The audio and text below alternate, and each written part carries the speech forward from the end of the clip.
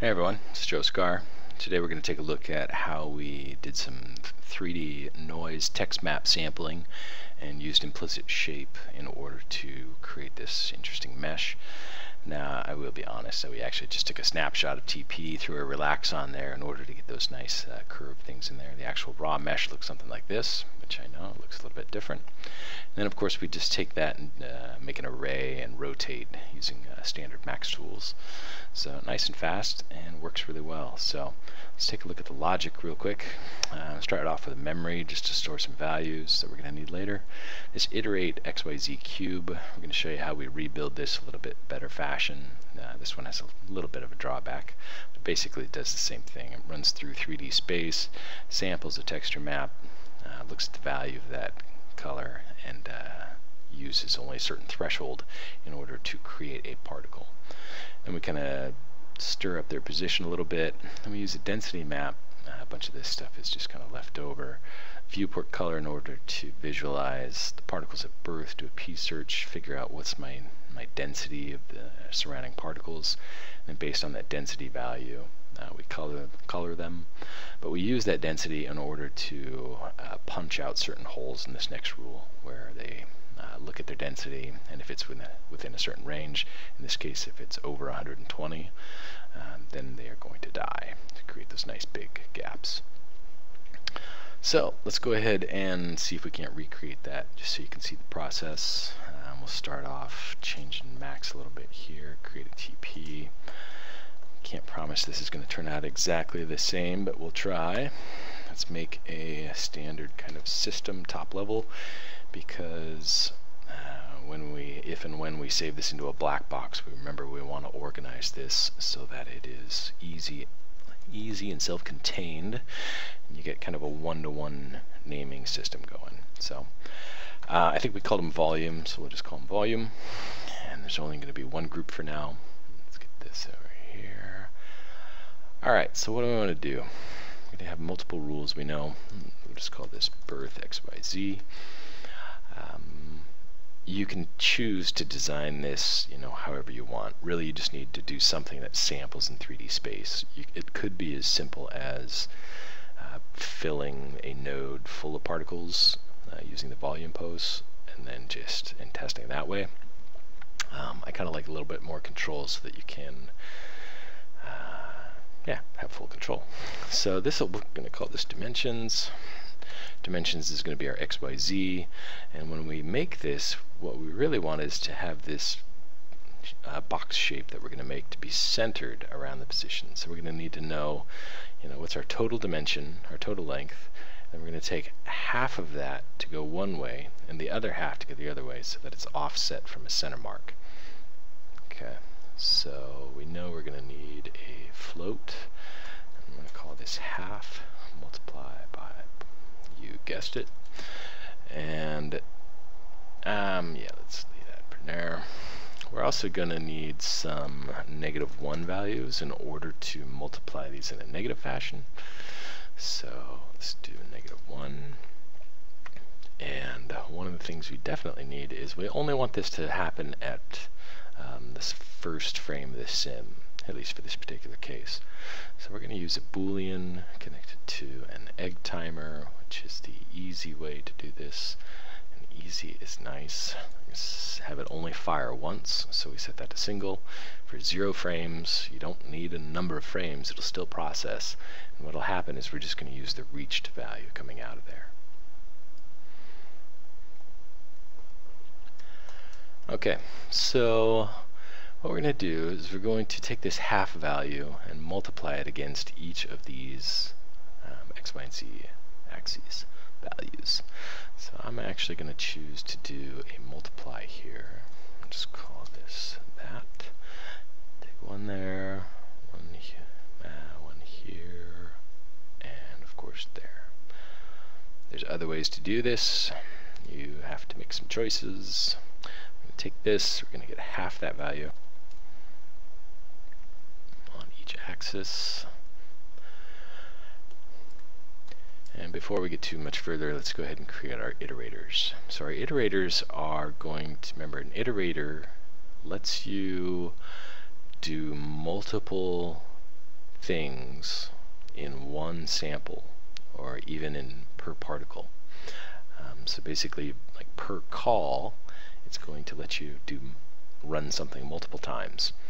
And in this case, we're going to have this be at the beginning of the sim, start this whole iteration process. Now we're going to go ahead and let's get the count out here. I'm going to set this up a little bit different than the uh, first example I showed you just so we can do it a little bit better. We're going to use a world raster. So let's just go ahead and, and remember to uh, duplicate operators in TP. You hold down Shift and left click and drag. To remove operators, hold Alt and right click. Yeah. Alright, so might as well get that division going there. So let's have our x each of these axes divided by the world raster. For now, let's put the world raster at 1. And so that value is going to control our x-axis. We'll just call this iterator x.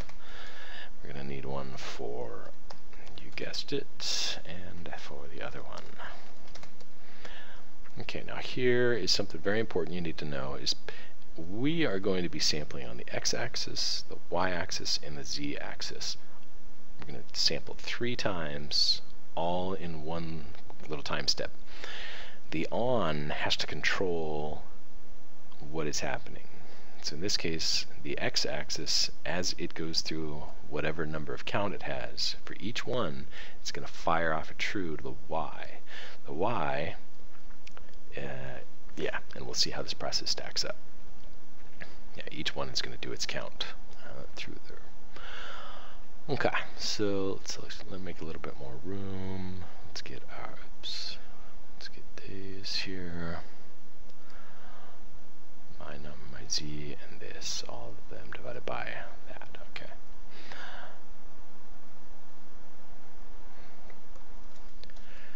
So now what I want to do is I want to start accumulating the position that's generated. Um, this is our end goal here. We're going to want this xyz to become coordinates in space, which we're going to feed into a text map. Oops, not text map. Uh, remember, text map is a new new one in TP 6.6 uh, where you can actually do some very nice uh, map handling adjustments or just generate a, a simple little kind of noise texture field. Um, in this case, we actually want the text map color, so let's dump that guy in. Okay, so let's go ahead and get through here. What we're going to do is we need to control our birthing on the left side and the right side of this uh, each axis.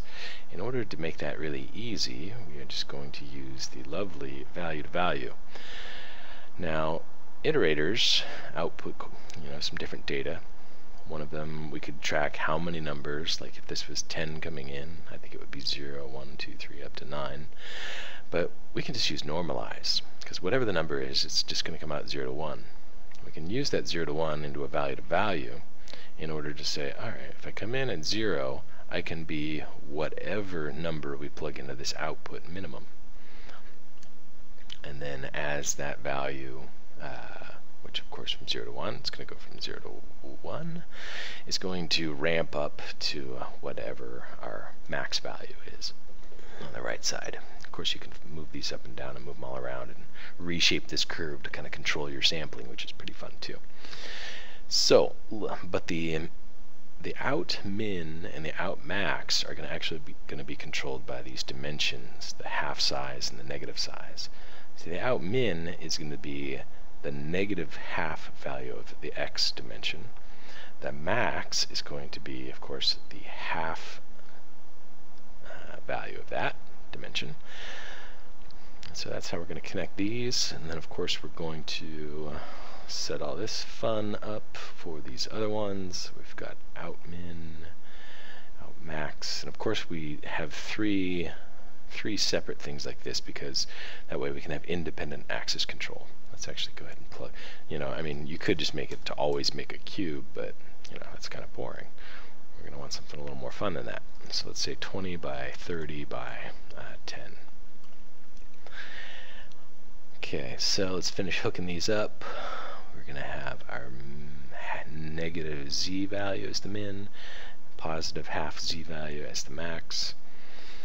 Um, these values coming in through here are going to be uh, coming into the number normalize. Okay, now we're going to want to collect that data. So the x-axis we're going to collect here, y here, z here. Easy peasy. Okay, so now oh, we need to add our map. Let's go ahead and just grab a cellular, not checker, that'd be a little boring. Okay, make that size, yeah, it's fine. Um, so you can see here it ends up being mostly kind of white, a little bit of black, uh, negative space. That's all fine. Let's drag, drop this in. Remember, make it an instance. If you make it a copy and you go back and you adjust it here in the material editor, it will not have an effect because it's a separate copy. You want them to be instances. There have been actually been projects. Uh, anyway, long story. I'm not about boring you with long stories. Let's get to the meat of this. okay, so it's an instance. And let's then, we're going to take whatever that those coordinates are now, and we're not going to feed them into the UVW. You can do that and see what happens, but you'll be happier if you put it into the surface position, which, that, which should also can mean uh, world position. So we're also going to need to take whatever color it finds. We're going to analyze the value portion of that. And now here's something critical, right? So we're doing an iterator. These iterators are, we have to control exactly when these things happen. So we're controlling these on. So this iterator controls this one, controls this one. The, all of that has to be combined. And when we test this color, it has to be an AND here to connect these two. Uh, otherwise it will not work. So let's go ahead and our position born. We're going to do a pistol shot per call. So every time I get a an on coming in, I'm going to create a particle at that position. Lifespan, sure. No speed, please. Variation 180 degrees because we're also going to play with the emission distance here in a second. Okay, oops, and I forgot to put them into volume. So, this is about right. Let's see what we get. Um, big thing, if you do this at home, set your simulation start to be one frame after the first frame so you get a little bit of a kind of a safety zone. Okay, what do we get? We get nothing. That's great. So let's see what happened. Okay, that on.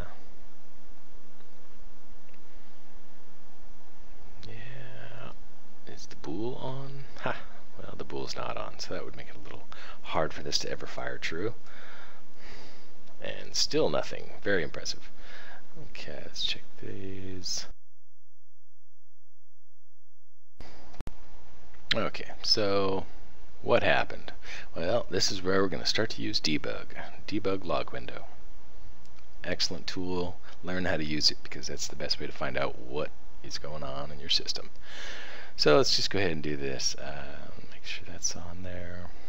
Let's check this. Just pick a couple values. Alright, so we get a whole bunch of this going on. It's great. Maybe our threshold's not cool. It's not cool. Because what it's saying is, whatever this uh, color value is coming in, it has to be over 1 or under 0. Let's make that inside, and 2.5. Turn off debug. Maybe we'll get lucky. Hey, look at that. Alright, so we get some interesting stuff there. That's cool. Um, let's make this a little more fun and turn edit on the fly off. Go here. My poor material editor keypad is broken. And let's look at our map. And our map, if we now start changing this, we'll get some cool stuff in there. Okay, so let's go ahead and jump to the fun make a rule called shape and I like to back up for this so it's not processing right away this is under uh, implicit shape and let's take a look at some values. Let's use a surface. Um, yeah, we'll just turn this on and see what happens. Let's make sure master dynamic is showing the mesh. Hey, we got some mesh, all right. Um, so it's probably our scale is a little off. Let's go ahead and increase this. And voila. All right. Um, you can see we got a little isolated guy here. We can make a rule to kill that off if you need. Um, okay, so interesting little 3D map shape. That's cool. Uh, what happens if we, just out of curiosity, switch it to chips? Alright, get kind of a different look. How about fractal? Eh, kind of blobby. Um, well, maybe we turn off fractal. We get that a little more. Okay. So now let's go ahead and change our dimensions. And our dimensions, let's um, let's make it a little bit taller. So let's go 30. Great, we got that. Okay, so our mesh resolution is fairly rough. We don't have a whole lot of particles right now, just 3500, so it's it's nice and fast. We can use some of the nice, um, I'm going to set mesh smoothing all the way to 1, use these iterations here to uh, kind of smooth out that, that mesh. So that's one step. Now what we can do is we can I should have organized well. There's just TP there. Let's make a layer for that. Let's also make another layer called results. Let's select TP. Results is the currently highlighted layer. Let's go tools, snapshot, bang, hide TP. Okay, so we still have this. Now it's just a plain old max object, and we can throw whatever fun modifiers you want on it. Um, for now, let's throw relax and crank it way up. And so you can get some nice curvature on there and make it look really smooth. Um, you could throw up, you know, uh, optimize or whatever as well. So there's that.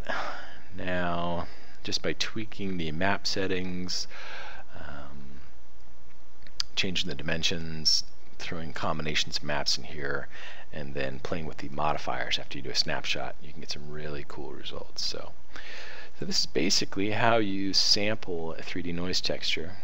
Um, just run through it one more time. We've got the uh, the bool into an egg timer in order to act as a one-time switch, so only fire at the beginning of the sim in this particular case. Set up a world raster so we can control the granularity of the number of samples. We use the dimensions to define the overall bounding box. We use the half uh, multiplied by each axis by negative 1 in order to get the uh, make it centered so it's got a negative component positive component and centered around this axis here. And then we uh, for each of the iterators remember we're controlling each one of them on and using that rasterized uh, dimension for the count and then using the number normalize. So whatever that count is is going to come out as 0 to 1 which we can then easily interpret uh, between 0 to 1 and control our out minimum and out maximum being the negative axis, for half of the negative axis value and half, or half of the positive uh, axis value in order to control the where in this particular axis it is. Uh, and then just doing that multiple times, one for each axis, combine all those to create a position, take that into the surface position portion of the texture map color, throw in whatever map you want there or combination of maps. You can be very creative. Get the, whatever that color is coming out so we can test individual components of color, like the, in this case the value, uh, in which case we're just going to say anything from 0 to 0.5. Um, and of course, all of this you can customize to your heart's content if all those conditions are true, meaning if we are inside a multi-layered iteration and that particular position that was generated meets that color value threshold requirement, then go ahead and create a particle there. Nice thing about this method is that it um, tests the position before it creates the particle versus creating all the particles and then filtering them afterward, which, you know, is not bad. It's just this is a little more closer to the immediate result and saves you an extra step. Of course, you can add another step like I did in the other file where we do actually look at the densities of those uh, and kill off certain parts. Or, you know, you can kill off certain parts at random or whatever other criteria that you like. Now, Okay, and then of course we feed that into an implicit shape, and you're done. Take a snapshot, uh, play with it at max. Of course, um, if you're going to make this animated and you need um, that kind of access, you'd probably end up using groups object, uh, groups as objects, and that way it would create a volume object on some layer that you could uh, apply modifiers to so that this could update over an animation. Alright, that's it. I'm going to go ahead and save this file out for you guys. Hope you're doing well. Have a great 2018 and uh, keep an eye out for more awesome features coming out in TP. Cheers.